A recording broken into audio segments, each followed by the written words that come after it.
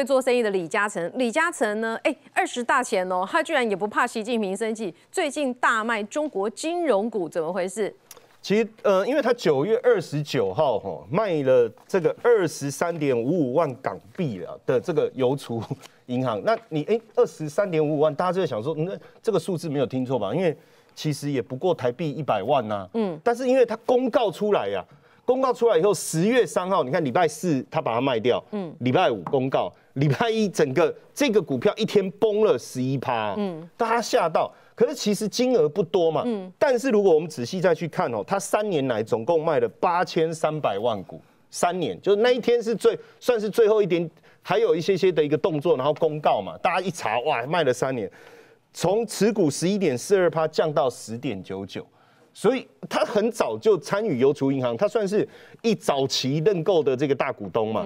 那这样的一个减持，是不是代表他认为银行股的部分是不是有一些状况需要去注意，还是怎么样？所以市场一看到这个讯息，加上李嘉诚过去以来他的投资实在太精准了。嗯，那这但是这几年今年从今年开始比较有趣的是，因为大家也知道，二零一五年开始他大量的出脱在中国大陆的土地嘛，对不对？不动产嘛，但是。今年开始七从七第一件事情就是七月，长江已经跟长江集团实业集团确认哈，就是这一个恒大中心嘛，在湾仔高斯达道三十八号那一栋嘛，一百五十六亿，本来要卖一百，它它价值一百五十六亿，后来拍到九十亿啊，等于打六折嘛，哎，你你开始回来了，从过去到现在，它再出现在竞标场是十年哦，嗯。等于是说，这是魁违十年，他第一次进来举牌哦。嗯，虽然没有标到，但是大家认为他已经开始进来干嘛？在试身手，在试水温，看看现在这到底房地产市场怎么样。如果他如果大家都不想举举牌，也许是反而真的是底部哈。嗯，所以他眼光精准。当然，这个有一个传奇，有一个他的故事了哈。在一九六零年代那时候，香港当时什么劳工啊、工会啦，那个抗争嘛，相当相当的乱。大家其实。逃的逃，跑的跑。那时房地产价格整个大幅度的一个崩盘，它大量进去了，比如说厂房啊、厂这地土地啦，然后旧楼，反正他呢有能力买，他就尽量买。嗯，买了以后，其实动乱就平了嘛，那房价就涨了嘛。嗯，其实他也很厉害，他当时就租租租厂房就租人家，哎，价格上来他就把它卖掉，卖掉以后又把那些钱拿去买土地。其实一九六零年代这个动乱。然后到一九七零年代，你看相隔也不过几年的时间，他就光靠这样房地产，光收租就这样几年给他翻了一下，光收租就四百万港币。嗯，所以你会发现他在土地的投资眼光精准。嗯，那当然他旗下有一个维港投资啊，这个是大家一直在讲，就是说李嘉诚他是靠土地，可是他现在也九十四岁了嘛。哦，那最近他旗下的维港投资，因为之前投了脸书，他说，呃，脸书。李嘉诚懂科技哦，你不要看哦，他办公室这两台电脑，还有苹果的这个平板哦，每天他都要看《华尔街日报》啊，还有《Financial Times》这些重要的讯息啊，透过电脑、平板，然后他们会帮他整理啊。那这个维港投资其实就是他背后的，他是大股东，嗯，他交给这一位叫周凯旋，人家说是红粉知己，因为两个差了三十几岁啊。嗯，周凯旋的闺蜜叫张培维，是谁？董建华的表妹。所以其实他把这个关系拉得非常好。那么当时台湾的这个瓷砖厂五十八家冲进去，冲进去之后，现在呢剩两家，其中有一间冠军瓷砖，一开始去那边也是吃香喝辣的，后来开始赔赔钱的关键是什么？钱，因为当时这个中国经济起飞，房子盖很多，当然需要很多瓷砖。可是未来后来为什么他真的是脆心啊？真的很大问题。他觉得在当地有。我如果大家公平竞争，好，就算你的成本比我低，我品质比你好，这个都 OK。可是如果今天政府也要搞你，那真的就不公平了。怎么政府他们要招商的时候是给台商一大堆优惠，没错。但是他要扶持自己本土企业的时候，就开始要搞就搞你喽。好，怎么搞你下去了？缴税不公平，嗯，大家赚钱缴税天经地义。可是中国的瓷砖同业缴税只要缴三趴到四趴，可是冠军却被按乱。到处乱安名目，一缴要缴十几趴，一叉叉十趴，哎，这行李是不要拿走。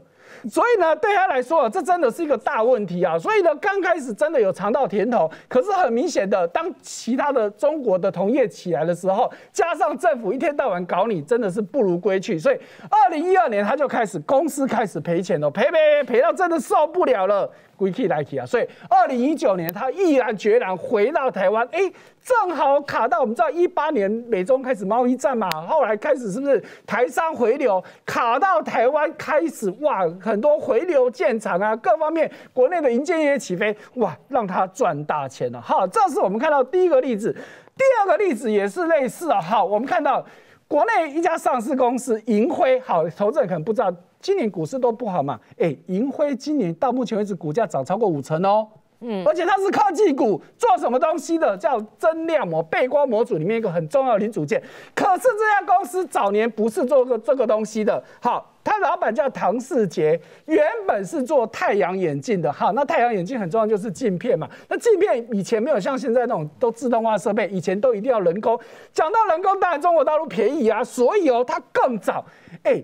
一九八八年就到中国去设厂，哎，我们知道邓小平南下是一九九二年，他更早就去了，好，所以他几乎是最早西进中国的，好，刚去真的也都是赚到钱，可是问题又来了，刚说了这个太阳眼镜磨镜片就要劳力密集嘛，所以当然要请很多劳工，结果很多劳工就怎么样，今天在场上班，明仔不会来呀，哎，连没有说什么请假，甚至。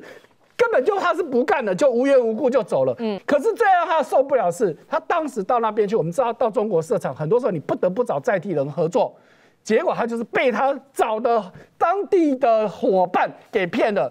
什么事情呢？原本行李造就好，所以他准备要增资要建厂，所以他买了一块土地。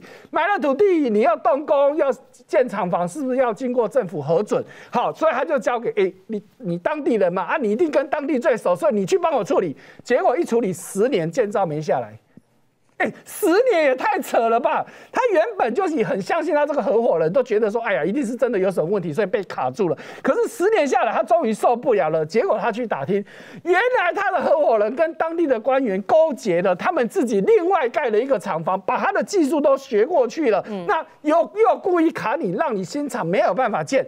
他才知道原来自己被骗了。他想说啊，这样不行啊，我一定要想办法自己去突破嘛。尤其是当地技术也落后，那怎么办呢？所以他就回台湾回救搬救兵。所以他那时候就到工研院去想说，哎，有没有这个技术可以让我的这个磨眼镜这个镜片的技术更进步？结果工研院跟他说啊，你买这个这这样了，劳力密集，你怎么比得过中国呢？来，电脑里面现在有个东西叫做。这个背光模组里面有个东西导光板就喝谈了，可是台湾现在不能做，你回去研究看看，从此一炮而红。所以都在告诉你说，真的不要再太相信中国，只要你有本事、有能力、有技术，你真的在台湾照样可以让你发大财、赚大钱。